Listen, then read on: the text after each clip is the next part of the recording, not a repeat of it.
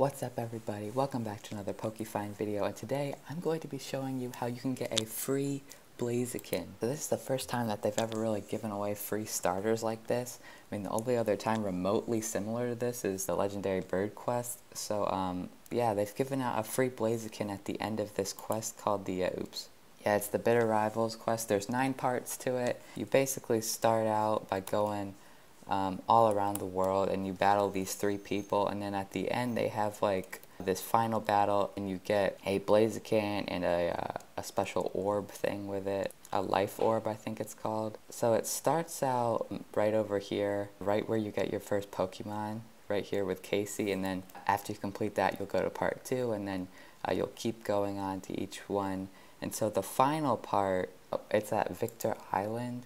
You go here and here are the three people that you battle at the end. And so they each have about, uh, they all have six Pokemon, and uh, they all, all are like about level 85 to 90. So this really helps if you have the last gym badge. Um, I got it right before I uh, completed the quest. It's really hard though. Um, you really need like uh, a water, fire, and um, grass type to beat it, like to beat it easily. I actually didn't have a water type, so it took a little bit.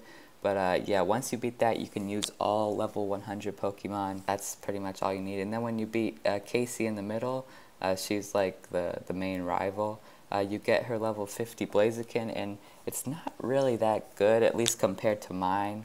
Uh, I don't know if it like varies what the IVs are when you get it, but everybody can get a free one, and then it comes with a life orb, which uh, boosts moves, I think, but it takes some of your HP away. I think uh, in a couple months, maybe, they're going to add the Elite Four, so make sure you stay tuned for that.